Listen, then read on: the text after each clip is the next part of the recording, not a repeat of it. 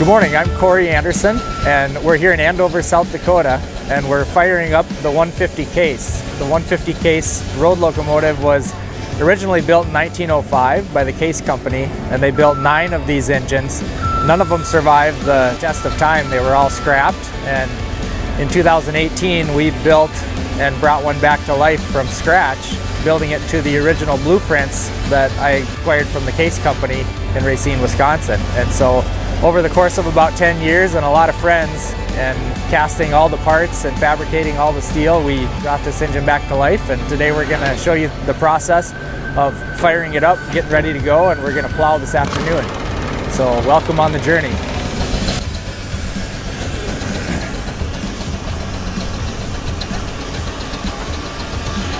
Here we have the, the most important part, the cleaning crew. Allie and Gretchen are wiping things down, getting everything nice and shiny so we can put on a good show today. One of the first things that we do right away in the morning when we fire up the steam engine is we have to clean the tubes. The tubes bring the heat and the smoke from the firebox in the back of the boiler.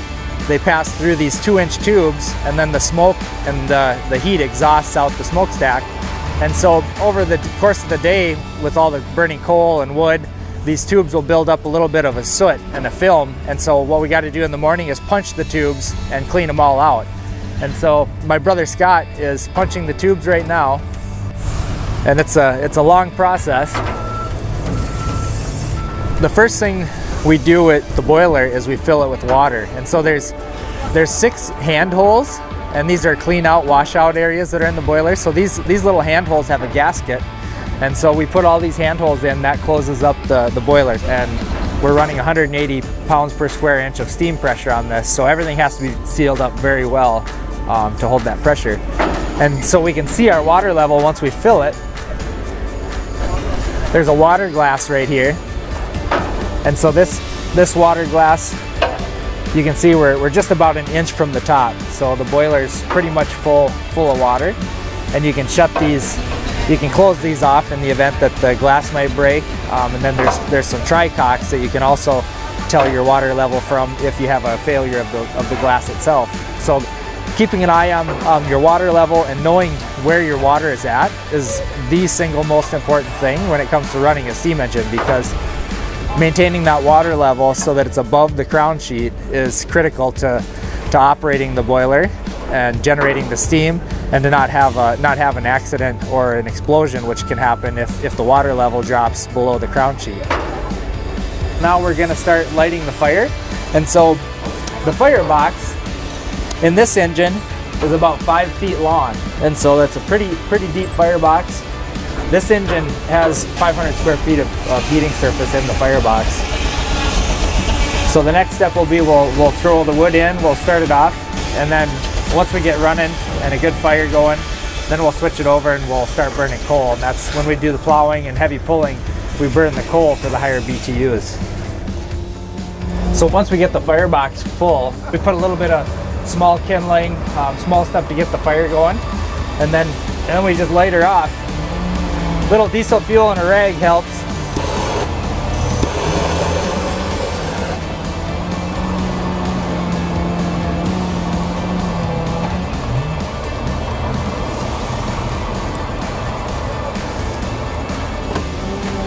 Where I'm standing right now is actually the fireman's platform. This engine was designed for doing heavy freighting, road locomotive work, plowing, and so this, this engine took two, two operators. There were the firemen here and then the engineer sat up here and, and drove the engine. And so we're on the fireman's platform, and each one of these, you can see on the side here, are coal bunkers. This was designed for doing freighting over long distances, so they designed this engine with a lot of capacity for water and, and coal. So we got our coal bunkers here, and then directly under where I'm standing is our water tank. So this water tank holds 650 gallons of water, and so this is where we utilize our steam injectors and we take water from the water tank and we put it into the boiler utilizing the steam pressure from the boiler.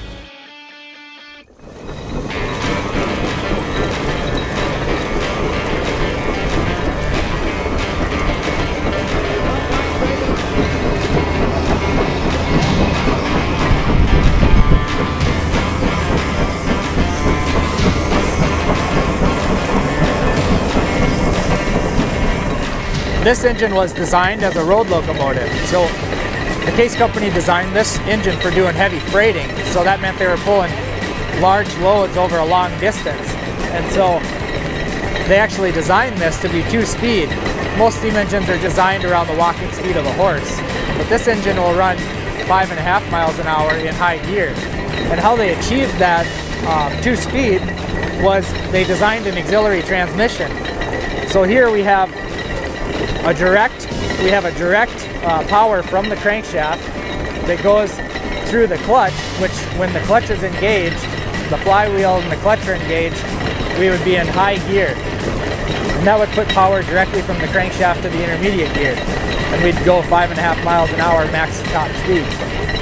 But in low gear, we actually disengage the clutch and we slide we slide the shifting lever over which engages the power instead of going through the the crankshaft pinion the power goes through this auxiliary transmission.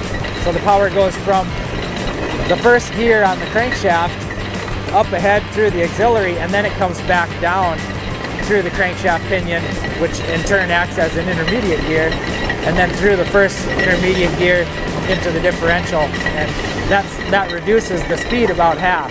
So in low gear we're running two and a quarter miles an hour which is ideal uh, what you want to be going for for doing plowing so it's pretty innovative the technology that they developed at the turn of the century in 1900 1905 because I mean this is power steering um, additional transmissions and none of this stuff really existed at the time you know, they were doing all their work with horses up until roughly 1900.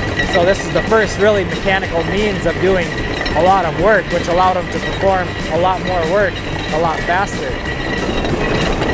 So the steam comes up through the steam dome through our primary steam dome valve. So in order to shut the steam completely off to the engine, we close that main valve and then there's no power, no steam going to the engine. But once we open that main valve, the, the next valve is the throttle valve. So then we allow the steam from the throttle into the governor. And the governor is the unit with the balls turning. So if you've heard of the term balls out, that, that came from the governors back in the day with the balls. You were going max RPM when the balls were out. So if you were gonna really give her, you'd, you'd have your, the balls would be out. And, and that, that is driven by the crankshaft by this belt. So the faster the crankshaft and the engine RPM is, the faster it turns that governor. And when the balls come out, it closes the steam valve that shuts steam off to the engine.